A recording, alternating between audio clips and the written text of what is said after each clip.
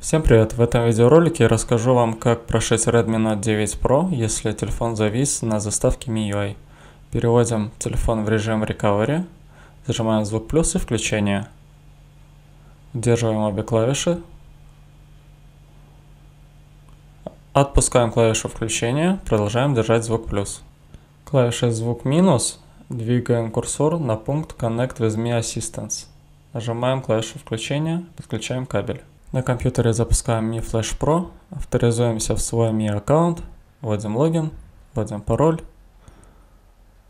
нажимаем Sign In, закрываем это окошко, переходим в пункт Recovery, видим нашу модель и текущую версию прошивки. Прошивку надо ставить не ниже текущей и для того же региона.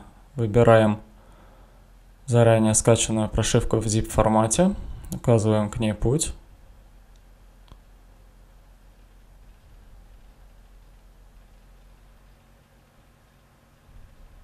Нажимаем «Открыть». Программа проверит совместимость прошивки, а также ее целостность.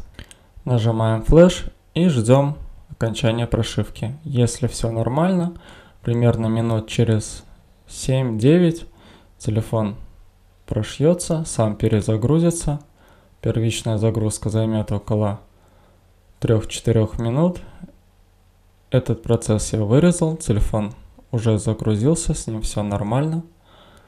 В него установлена, как и полагается, российская прошивка. Всем спасибо за внимание.